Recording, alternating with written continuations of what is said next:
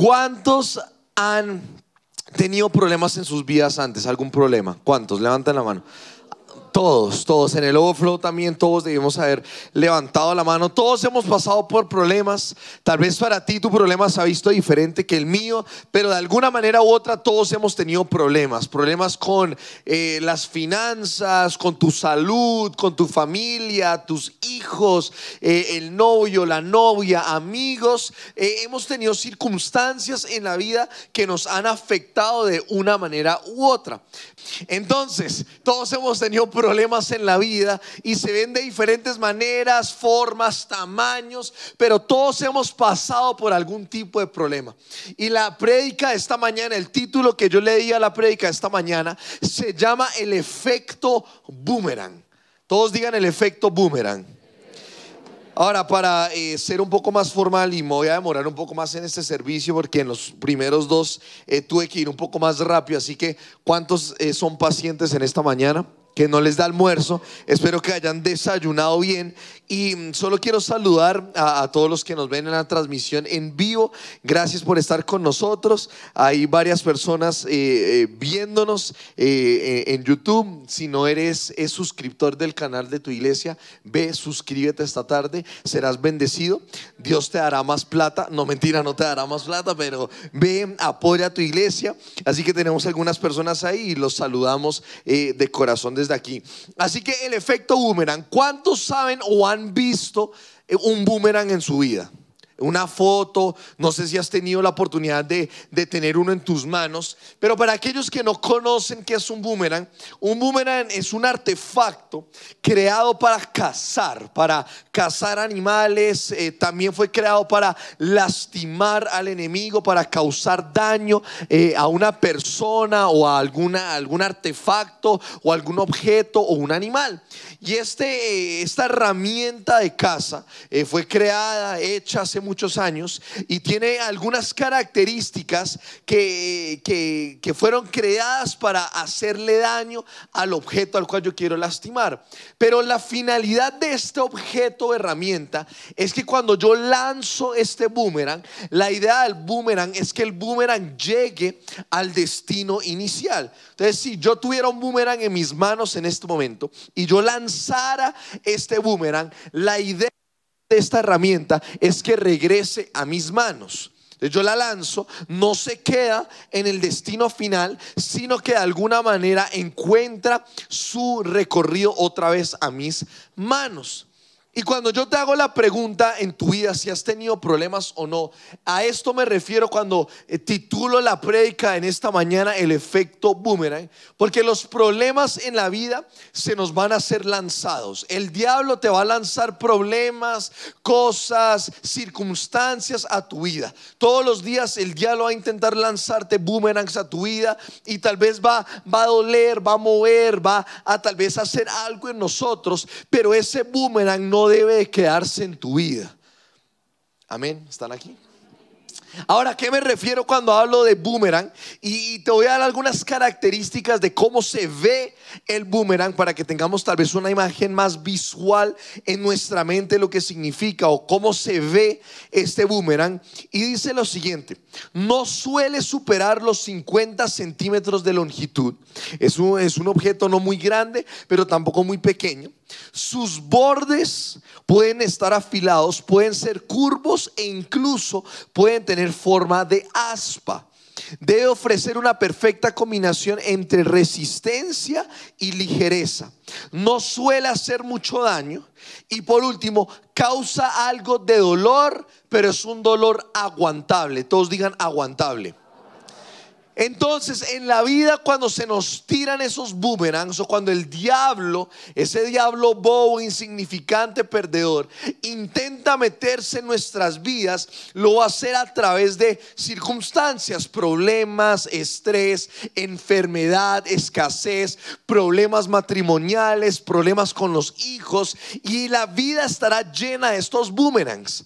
Pero como lo dije al principio, el boomerang no está diseñado para quedarse en el destino al cual fue lanzado, sino que siempre tiene como meta regresar al destinatario.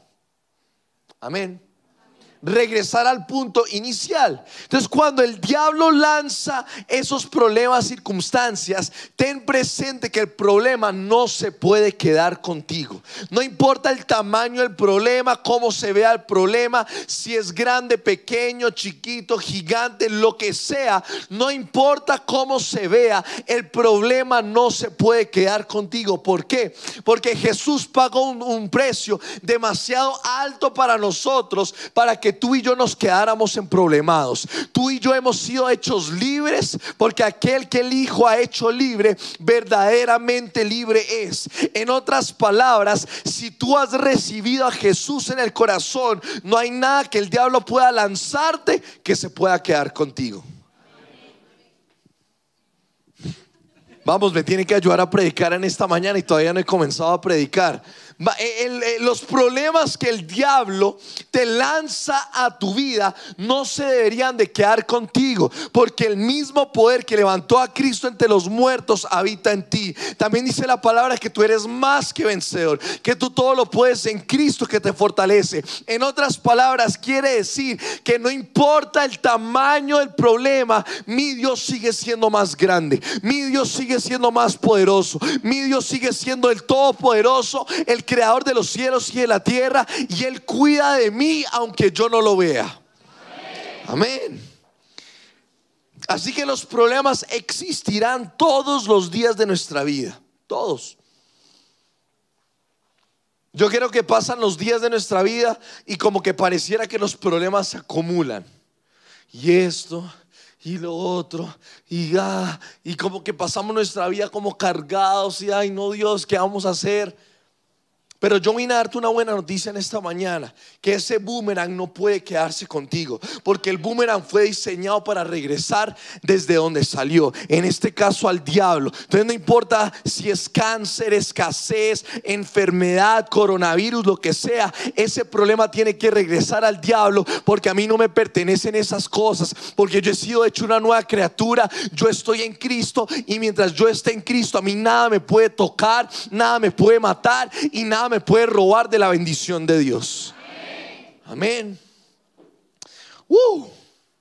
Así que con esto en mente, con el, el ejemplo del boomerang, no hay nada en este mundo que se te pueda tirar y que se quede contigo. Nada. La escasez no se puede quedar contigo. La enfermedad no se puede quedar contigo. El divorcio no puede existir en tu casa. Que tus hijos sean rebeldes no puede existir en tu casa. ¿Por qué? Porque el boomerang nunca fue diseñado para quedarse contigo. ¿Estamos despiertos? Dile a tu vecino, oré toda la semana para sentarme a tu lado. Algunos no oraron, entonces no sé qué le están diciendo. Si eres soltero, pídele el celular, no sé. Así que no hay ningún golpe, no hay ninguna situación que te pueda derribar o se pueda quedar contigo.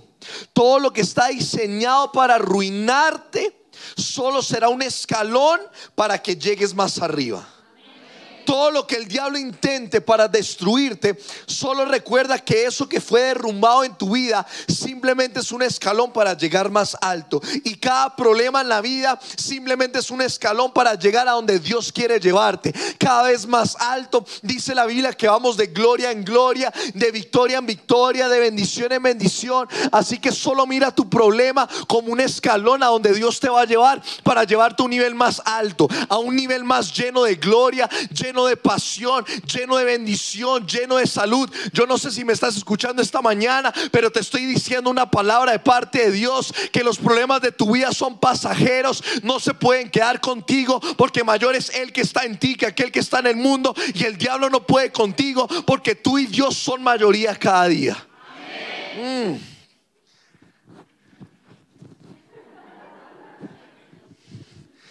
Vamos, eso, sonríanme, muéstrenme los dientecitos. ¿Está recibiendo algo? Vamos, estas son buenas noticias. Mientras el mundo está en decadencia, la iglesia va ascendiendo. Porque cada problema que el diablo intente lanzarnos a nosotros, eso solo nos hace más fuertes, nos hace más capaces para llegar a donde Dios quiera alcanzarnos en esta tierra. No hay golpe que sea suficientemente duro para arruinar mi vida. Ninguno. El diablo no tiene poder, el diablo no tiene dominio, el diablo no tiene nada suficientemente fuerte para que se compare al nombre de Jesús. Romanos capítulo 8, versículo 28. Romanos 8, 28. Uh, dice, él nos conoce mucho mejor de lo que nos conocemos a nosotros mismos. Conoce nuestra condición actual y nos mantiene presentes delante de Él. Por eso podemos estar tan seguros de que cada detalle, todos digan cada detalle, en nuestras vidas, por amor de Dios, se convierte en algo bueno. ¿Tú crees lo que acabas de leer? ¿Entiendes lo que acabas de leer? El Dios Todopoderoso, el creador de los cielos y de la tierra, el que está allá en el cielo, sentado en toda majestad, donde tiene ángeles orando, alabándolo día y noche, cantando santo, santo, santo. Ese mismo Dios te conoce mejor de lo que tú te conoces a ti mismo. Y eso a mí me da alegría, gozo, porque si el Dios Todopoderoso me conoce mejor de lo que yo me conozco a mí mismo, quiere decir que Él ya sabe cómo voy a salir de esta vaina.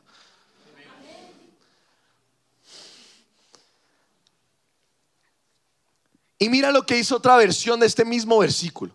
En la nueva traducción viviente dice lo siguiente. Y sabemos, todos digan, y sabemos.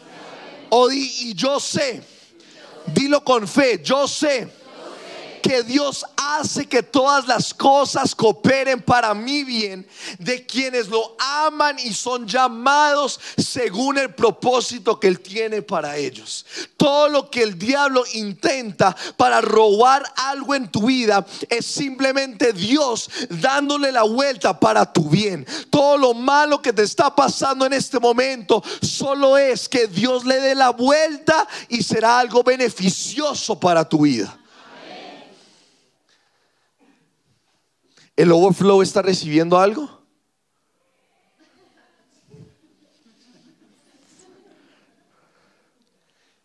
Entonces, cada problema que venga a tu vida, solo acuérdate, ah, Dios le va, a dar la vuelta a esta circunstancia, le va a dar la vuelta a mi depresión, le va a dar la vuelta a estos pensamientos suicidas, le va a dar la vuelta a mis adicciones, le va a dar la vuelta a mi escasez, a mi enfermedad. Ponle un nombre a tu circunstancia y solo ten presente que Dios le va a dar la vuelta, porque todas las cosas cooperan para tu bien.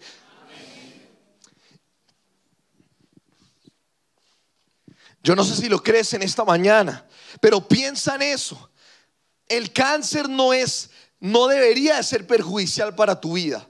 ¿Por qué? Porque Dios usa eso para tu bien. Ahora, no estoy diciendo que Él te mandó el cáncer, Él no manda enfermedad, Él no manda escasez, pero Él permite esas pruebas en nuestra vida para hacernos más fuertes. Como dice una canción por ahí o alguien lo dijo, lo que no te mata te hace más fuerte. Y el diablo va a intentar matarte porque dice en Juan capítulo 10, versículo 10, que el diablo ha venido para robar, matar y destruir. Pero Jesús ha venido a dar vida y una vida en abundancia. Y yo quiero vivir la vida que Jesús tiene para mí. Así que diablo, ven con todo lo que tienes, pero yo soy más que vencedor. Y a mí nada me va a arruinar, a mí nada me va a matar, a mí nada me va a robar de la vida que Él tiene para mí. Yo no sé si me estás escuchando en esta mañana, pero Dios tiene tiene un propósito para tu vida, mucho más grande que esa enfermedad, mucho más grande que la escasez. Es el Dios que vive en ti, que te ha dado la victoria, mucho más de lo que tú has soñado o imaginado, porque lo que el diablo tiene no se compara con lo que Dios tiene para ti. Daniel capítulo 3, versículo 1. Y vamos, eh, no vamos a leer toda la historia, pero vamos a leer algunos versículos de este capítulo. Daniel capítulo 3. Si traíste tu Biblia, vamos a ir ahí. Si no están las pantallas. Daniel 3, versículo 1 al 22 y también de los versículos 23 al 30. Pero no vamos a leerlo todo. Simplemente te voy a contextualizar de lo que pasa en esta historia. El rey Naudoconosor, que tiene un nombre súper raro ese man, pero tiene ese nombre. Y luego los otros tres tipos de la historia también tienen nombres raros. Sadrach, Mesach y Abednego. No sé qué les pasó a los papás. Seguramente estaban fumándose algo esa noche o algo. Y estos tres hombres se enfrentan con una decisión en su vida. Y el rey da un decreto y dice, todos deben de arrodillarse frente a esta estatua de oro que yo he hecho. Y aquel que no se arrodille frente a esta estatua, lo vamos a matar. Lo vamos a meter en un horno de fuego y que ese horno de fuego determine el destino final de aquellas personas que no se arrodillen. Y estos tres jóvenes, porque eran jóvenes, tomaron la decisión de no arrodillarse frente a, este, a esta estatua, a este Dios. Y la, la historia se desenvuelve de tal manera tan, tan impresionante que uno no se puede imaginar y ver lo que pasó en este acontecimiento. Pero vamos a leer desde el versículo 16 y quiero que veas la respuesta de estos tres jóvenes y dice, Sadrach, Mesach y Abednego contestaron, oh Nabucodonosor, nombre rarísimo, no necesitamos defendernos delante de usted. Si nos arrojan al horno de fuego, el Dios a quien servimos es capaz de salvarnos. ¿Cuántos están agradecidos que Dios te puede salvar de cualquier cosa? Y sigue diciendo, Él nos rescatará de su poder, su majestad.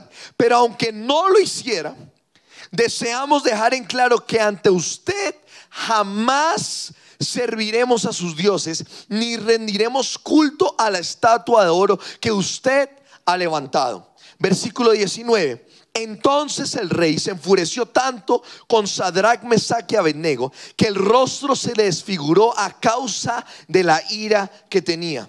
Mandó a calentar el horno siete veces más. O sea, ese horno ya estaba caliente. ¿Cuántos se han quemado con la estufa? Yo no, porque yo no cocino, entonces no sé qué es. No, mentira, sí cocino. Eh, y Laura es testigo. Pero cuando uno se quema duele, ¿no? Ahora imagínate ese mismo dolor, pero ahora siete veces más.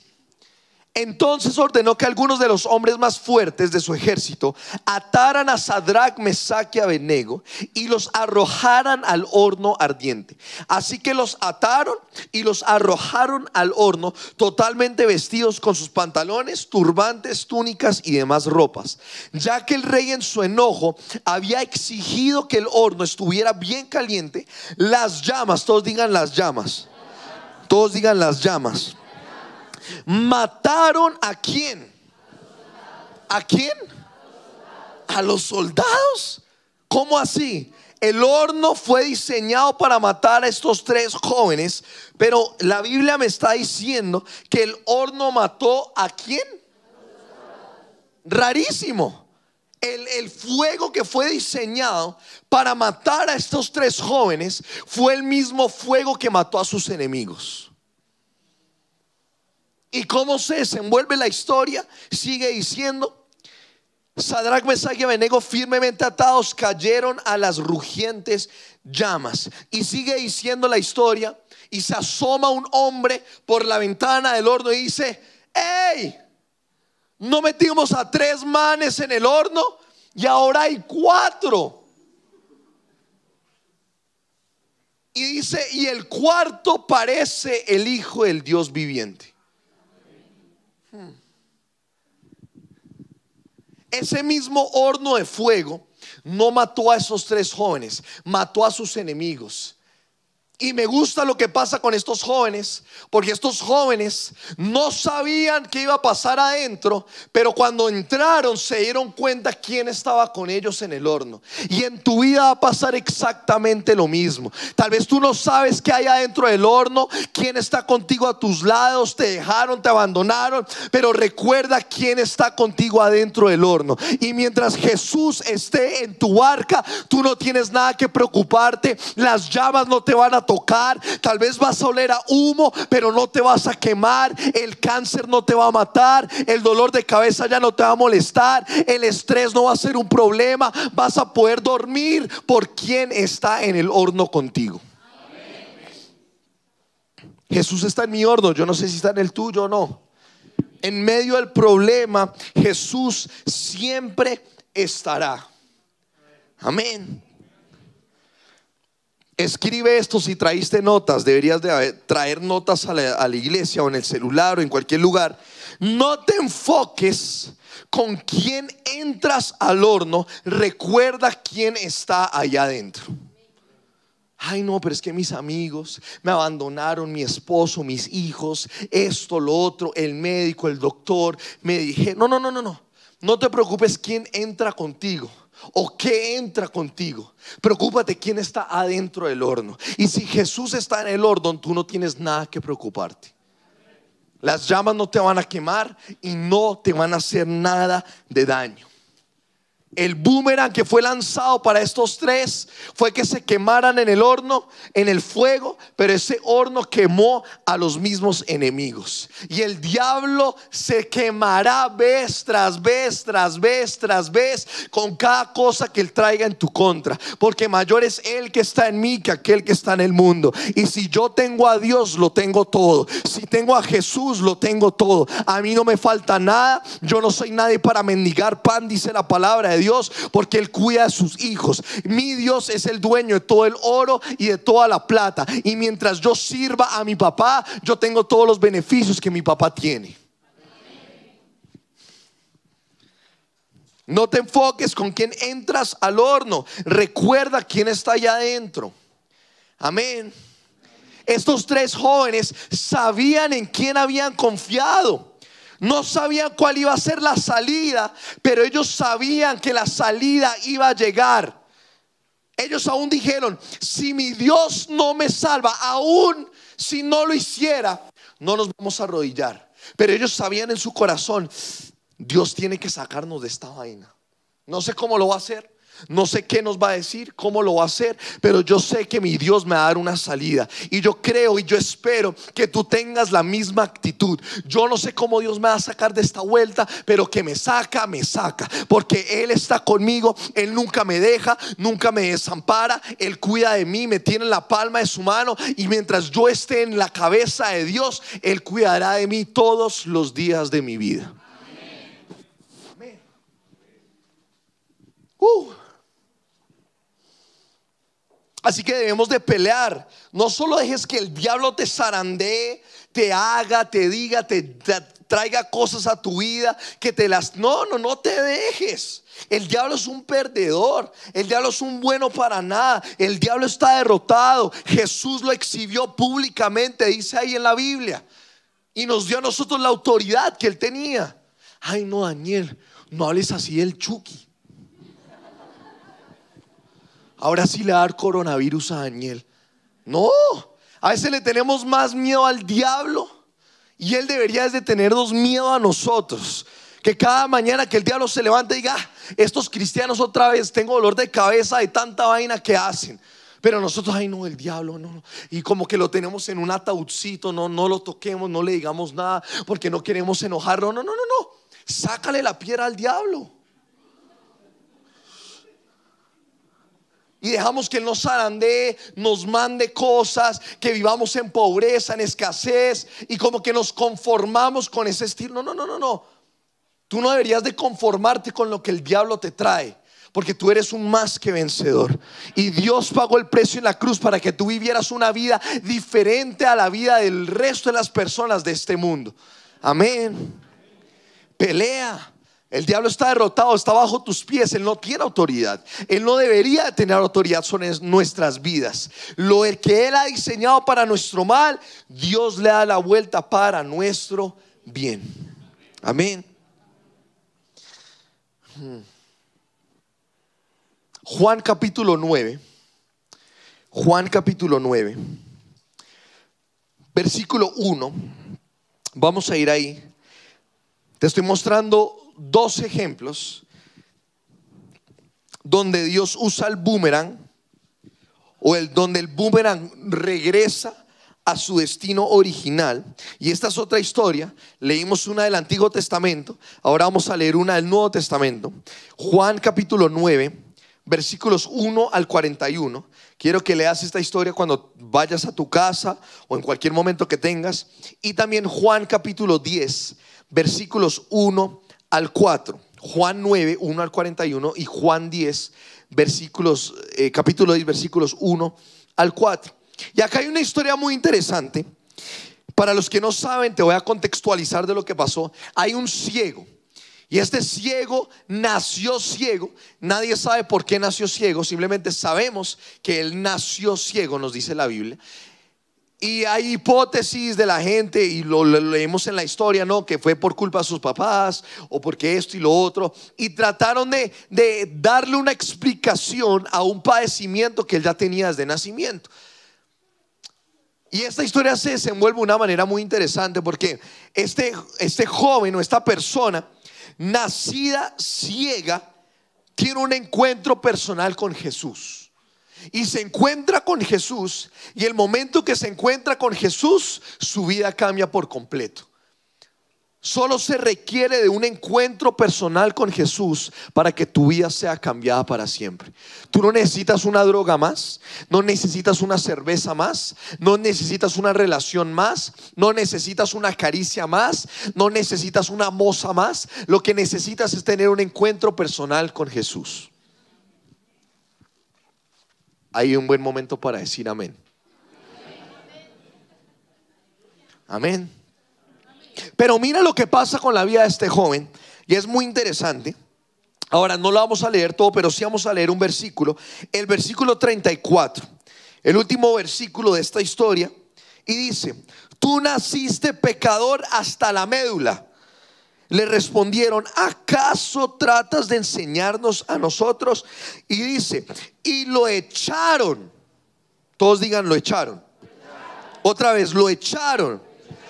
¿De dónde? De la sinagoga. ¿Cómo así? Él acaba de tener un encuentro personal con Dios y ese lugar tal vez de, refugio, de refresco, donde él debería encontrar consuelo, tal vez que alguien eh, le haga seguimiento de lo que acaba de pasar, es el mismo lugar que lo rechazó. Y si nos ponemos a, leer la historia, sus mismos papás lo niegan, dudan de su ceguera. Le preguntan, ¿será que nació de ciego de nacimiento? Y los papás dicen, sí, él nació, eh, él nació ciego, pero mm, como que ya no estamos seguros. Y uno dice, los papás están brutos. ¿Cómo así que van a negar un padecimiento que ellos mismos sabían que había pasado? Y esto es esta zona de comodidad, de amor, de consuelo, fue el mismo lugar que lo rechazó. Y esa palabra echaron en el griego, y vamos a tal vez a explicar algo eh, más teológico. Esta no es una clase teológica, pero esto te va a ayudar a, entender a dónde voy. Esta palabra echaron es la palabra griega ekbalo. Todos digan ekbalo. Otra vez, ekbalo.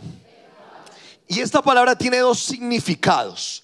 Una es un significado negativo y el otro es un significado positivo. Vamos a leer primero el negativo, que es arrojar, expulsar, enviar con noción de violencia.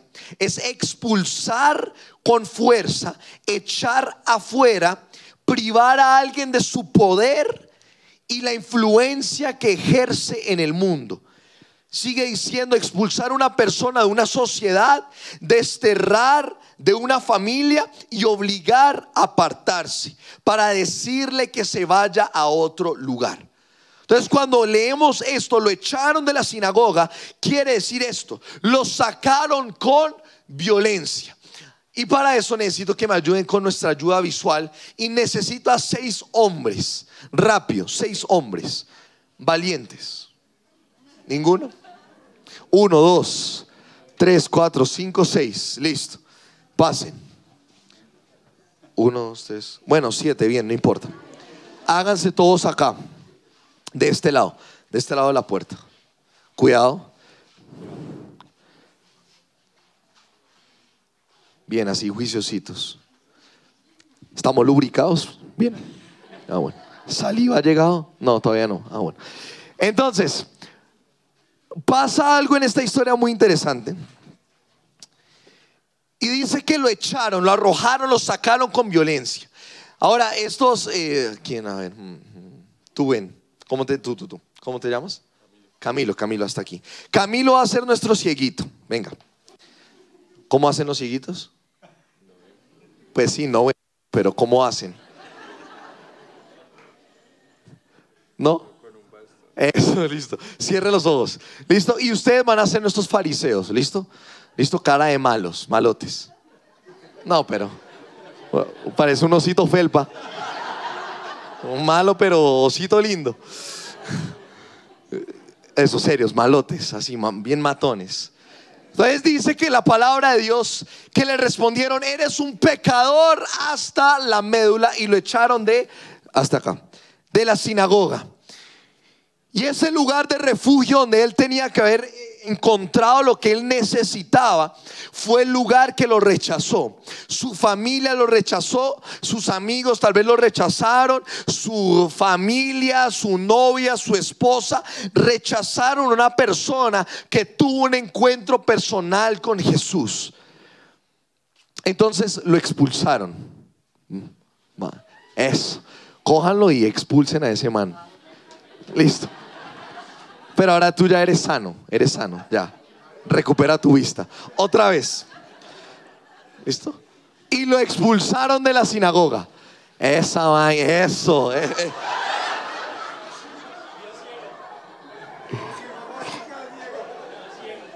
¿Estás bien? Bien. Eso es parte de la actuación, ustedes que se ríen. Y dice que lo expulsaron de la sinagoga. Pero mira lo que dice Juan capítulo 10. A la siguiente página, el mismo contexto de la misma historia, mira lo que Jesús dice. Y es algo muy impresionante. A mí me voló la cabeza cuando eh, fue hecho rema en mi vida. Y vamos a leer desde el versículo 1 y dice, les digo la verdad, el que trepa por la pared de un redil a escondidas, en lugar de entrar por la puerta, con toda seguridad es un ladrón y un bandido. Pero el que entra, todos digan entra es esa misma palabra que acabamos de leer en lo echaron, es la misma palabra griega ekbalo. Piensa en eso, sigue con ese pensamiento y dice, por la puerta es el pastor de las ovejas, el portero le abre la puerta y las ovejas reconocen la voz del pastor y se le acercan. Entonces, el mismo contexto de la misma historia, algo sobrenatural pasa. Este joven está acaba de tener un encuentro personal con Jesús y en lugar de comodidad lo echa echan al lugar del lugar donde él debería recibir el amor que él tanto necesita. Sus papás lo rechazaron, su familia lo rechazó, sus amigos lo rechazaron, los maestros de la ley lo rechazaron, pero lo que estaba pasando no era que lo estaban echando, era que Jesús lo estaba sacando. En Juan capítulo 10, Jesús llama a sus ovejas por su nombre y ellas reconocen su voz. Que estaba pasando no era que ellos lo estaban sacando, era que, ayúdenme, era que Jesús lo estaba sacando ese lugar. A veces Dios va a tener que sacarte de lugares, sacarte relaciones, sacarte adicciones para cumplir el propósito que Él tiene para ti. No es que te estaban echando, no es que te estaban sacando, era que Jesús te estaba sacando. Te saca para de la mano para darte un mejor propósito.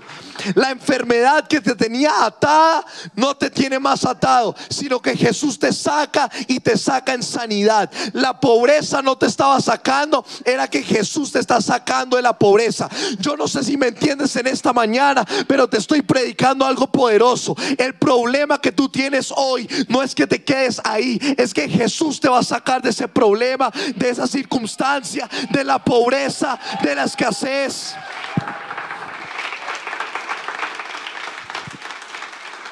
Al joven no lo echaron, Jesús lo sacó.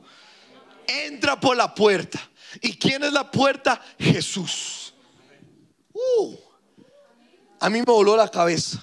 Entonces la próxima vez que el diablo te traiga algo, recuerda que no te están echando de ahí. El diablo no, no, no, no, Jesús te está sacando de ahí. Te está sacando en victoria. Tú eres un más que vencedor. La ceguera ya no te tiene por los ojos. La ceguera no te tiene en la vida. A lo, que te tiene a ti en la vida es el poder de Dios. Y mientras el poder de Dios te tenga, a ti nada te puedes calificar, nada te va a matar. El coronavirus se va a acercar a tu familia, no se va a acercar a la puerta de tu casa, porque si estás con Dios, Él te da la respuesta que tú necesitas. Tú eres sano por las llagas de Jesús. La palabra de Dios es medicina para tu cuerpo. Tú eres bendecido al entrar y al salir. Eres bendecido en el campo y eres bendecido en la ciudad. Y todo lo que tus manos toque es bendecido por el poder de Jesús.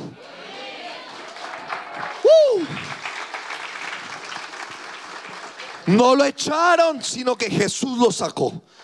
Entra por la puerta y ellas escuchan su voz. Démosles un fuerte aplauso. Gracias. Así que sigue diciendo, la puerta es el indicador que Jesús te está sacando de algo.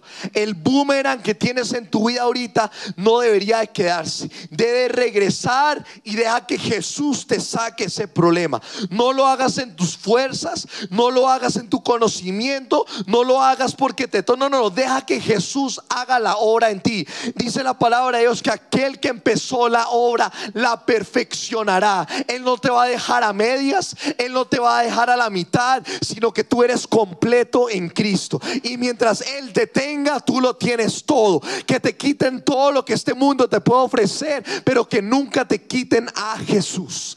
Vamos, estoy predicando muy bien en esta mañana. Jesús tiene algo para ti que este mundo no te puede ofrecer. Este mundo no tiene nada que Jesús te puede dar. Lo que tú necesitas no se encuentra en una sociedad, no se encuentra en un político, no se encuentra en una cosa económica, social, sino que se encuentra en una persona que se llama Jesús. Nombre sobre todo nombre. Creador, sanador, salvador, aquel que me redimió, aquel que me liberó, aquel que me sanó. Yo quiero tener una vida entregada completamente a Jesús.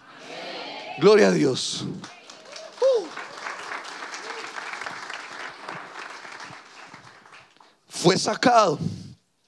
Dios te está sacando de donde el mundo te está echando. Dios te saca donde tú pensabas que el mundo te echó. No, no, es que Dios te está sacando de ahí. En un escalón en la vida, más alto, más fe, más gloria. Dios siempre le da la vuelta a nuestras situaciones. Nunca lo dudes. Jamás. Él siempre le da la vuelta. No importa qué tan grande es el problema. Él siempre está dispuesto a darle la vuelta. Amén. ¿Tú lo crees en esta mañana? Que tu Dios es mucho más poderoso para hacer todo lo que tú has imaginado, soñado, dice en Efesios capítulo 3, más de lo que tú sueñas, imaginas, anhelas, Dios puede hacer por ti. No lo va a hacer tu pareja, no lo van a hacer tus hijos, no lo vas a hacer tú, sino lo va a hacer Dios a través de ti. Los mejores negocios están a punto de llegar a tu vida, pero no eres tú, es Dios que obra en ti. La sanidad que tú necesitas no va a venir por ti, no va a venir por un doctor. Ahora apreciamos a los doctores, son una, son una machera, son bacanos. Pero mi fe no depende de un doctor, depende de Dios. Lo sacó. Ven a una mejor vida, ven a una mejor oportunidad, ven acá, acá hay vida, acá hay paz, acá hay sanidad, aquí está todo lo que tú necesitas. No menosprecies el empujón del mundo, porque no es un empujón, es un jalón de parte de Dios para traerte a lo que Él quiere para ti. Y finalmente, si se pueden colocar de pie, por favor, con esa misma reverencia con ese eh, mismo respeto, escucha esto último y quiero que te vayas con esto. El golpe aniquilador lo debe de recibir el diablo. No sé si me escuchaste. El golpe aniquilador lo debe recibir el diablo. No tú. Tú no deberías de estar ahí en el piso agonizando otra vez esto y estoy cansado. ¿Y por qué yo? ¿Por qué a mí?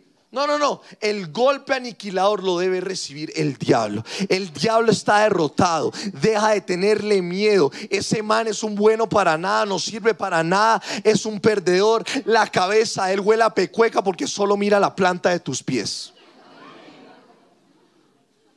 Si da risa, pero es la verdad. El diablo no puede pasar de allá abajo. Él nos dio, nos dio a nosotros la autoridad que él tenía. Tú tienes autoridad sobre todo demonio, potestad, enfermedad, escasez, porque hay poder en el nombre de Jesús. Él pagó el precio para que tú vivieras en victoria todos los días de tu vida sin nada añadido y sin nada quitado. Tú puedes vivir victorioso todos los días de tu vida. El golpe aniquilador lo debe recibir el diablo. Y Dani, ¿cómo recibe el golpe? Con tus palabras. Recuérdale al diablo quién él es. Es un perdedor derrotado, bueno para nada y recuérdale quién eres tú. Yo soy un más que vencedor. Yo todo lo puedo en Cristo que me fortalece. Todo lo que mis manos toca es bendecido. Yo soy sano por las llagas de Jesús. La palabra de Dios es medicina para mi cuerpo. Acuérdale al diablo quién tú eres y mira cómo él te comienza a tener miedo a ti. Tú le comienzas a dar miedo al diablo porque él comienza a entender que tú entiendes quién tú eres. Si él no te puede robar, tus cosas, el diablo va a intentar robar tu identidad. No es que tú no puedes, tú no tienes y tú no vas a poder. Si él puede robarte tu identidad, te robará también de tu victoria. Pero si tú entiendes quién eres y qué es lo que tienes, el diablo ya está derrotado. Él no va a poder contigo porque tú sabes que tienes, tú sabes que te pertenece y tú sabes que puedes hacer en tu vida.